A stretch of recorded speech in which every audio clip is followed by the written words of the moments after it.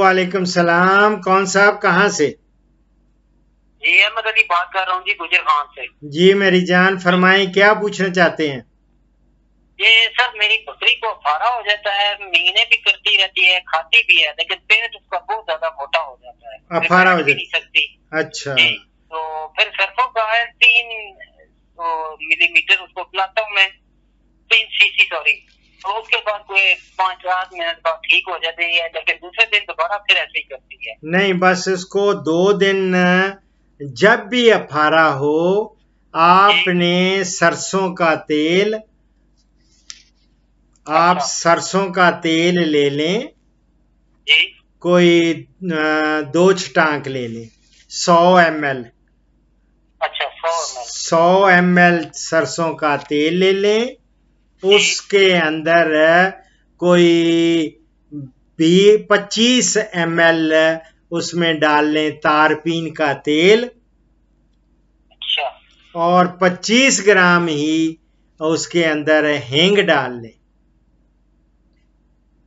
हेंग? हाँ हींग। हींग। इसको मिला के अच्छी तरह जब करके इसको पिला दें। ठीक है तो मेरी जान इसका फारा उसी वक्त खत्म हो जाएगा और दो दिन दो दफ़ा जब भी हो ये दे देना। बिस्मिल्लाह करके ठीक है? और उसको नॉर्मली एक कोलिक आप कार्मिनेटिव मिक्सचर होता है ना? आजमी कलर का होता है। है? कारले को रेड कलर की हाँ कोलिक। कोलिक हाँ वो रेड वाला। कोलिक जो है वो आप हाजमे वाला सिरप वो मेरी जान वो रखें। वो इसको ठीक है। 20 सीसी दे दिया करें हफ़्ते में तीन दफ़ा। बीस सीसी बी, बीस बीस सीसी जी ठीक है। ना एक वैसे स्टॉमिक पाउडर भी बना के रखें और भी हैं या एक ही बकरी है? जी मेरे पास माशाल्लाह सात बकरी है जी छोटा सा फार्म है। तो सात बकरियाँ हैं तो मेरी जान ये चीज़ें रखें स्टॉमिक पाउडर बना के रख लें। वो उसके लिए मैं आपको फार्मूला लिखवा देता हूँ तो आप वो लिख लें। इसमें फिर आपको कोलिक भी नहीं लेनी पड़ेगी और दूसरा भी नहीं और इतना बेहतरीन इंशाल्लाह अल्लाह रब्बुल इज़्ज़त के हुक्म से ये सारी इतनी बेहतरीन होंगी आप कहेंगे दुआएँ देंगे कि यार ना फारा होता है ना इनका हाजमा खराब होता है और ये बहुत पेट भर के खाती हैं। अच्छा आपको। जी हेलो हेलो। आपकी आवाज़ जो है ना वो सही नहीं आ रही कट रही है। जी। अभी ठीक है सर? जी। जी जी फरमाए क्या कह रहे हैं? मैं कह रहा हूँ सर मैं दुआएँ वैसे भी क्योंकि रोटी के जो है ना मैंने आगे की है तो हो माशाल्लाह ये भी ठीक हो जाएँगी। ये फार्मूला आप अगर वहाँ से लेना चाहते हैं तो आप YouTube अगर देखते हैं मेरे चैनल पे जाएँगे तो स्टॉमिक पाउडर डॉक्टर अशरफ साहब ज़्यादा लिखेंगे तो वो भी आ जाएगा। है हाँ सब्सक्राइब किया नहीं है तो मेरी जान मैं हाजिर हूँ मैं आपको लिखवा देता हूँ आपने कहा था बेहतर है ना। मैं- लिखवा देता हूँ कोई फ़िक्र ही ना करें। आप लिखें। लिखें ये सौंफ लिखें क्योंकि सात आठ बकरियाँ हैं ना तो सौंफ लिख लें पाँच सौ ग्राम। यानी आधा किलो। आ, किलो। किलो वाले में बताऊँ या ज़ुबान ग्रामों में बताऊँ ये क्या बनी मुझे ना आसानी है चलें। आधा किलो सौंफ, दो छटांक काली मिर्च,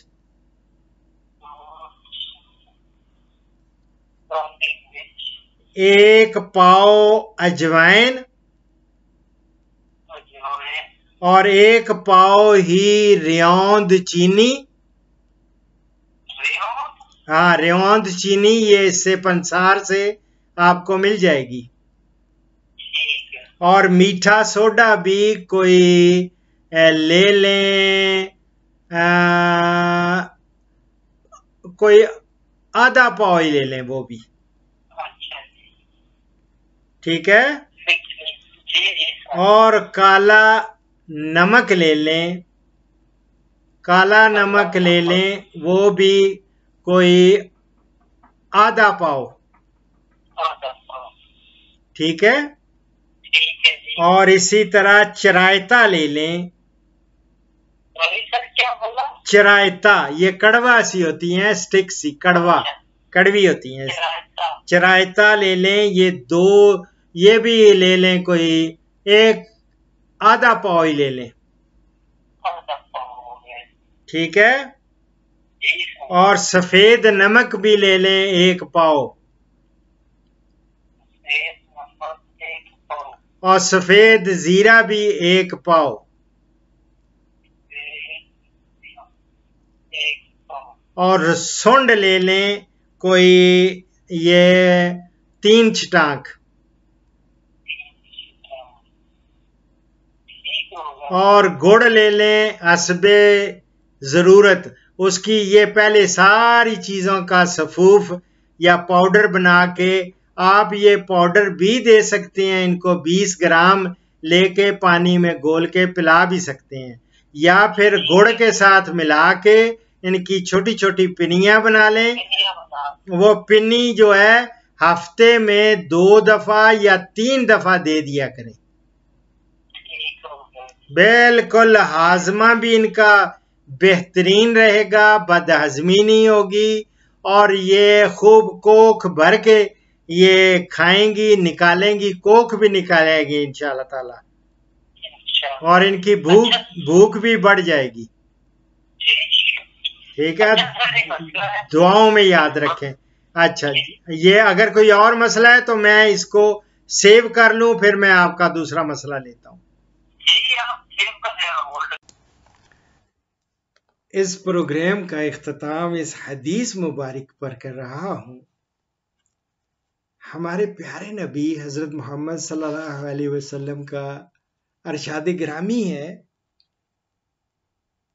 किसी मुसलमान के लिए ये जायज़ नहीं है कि वो अपने भाई के पास इतना ज़्यादा ठहरे हती कि उसे गुनाहगार कर दे। तो सहाबा ने अर्ज़ किया, ए अल्लाह के रसूल, उसको गुनाहगार कैसे करेगा?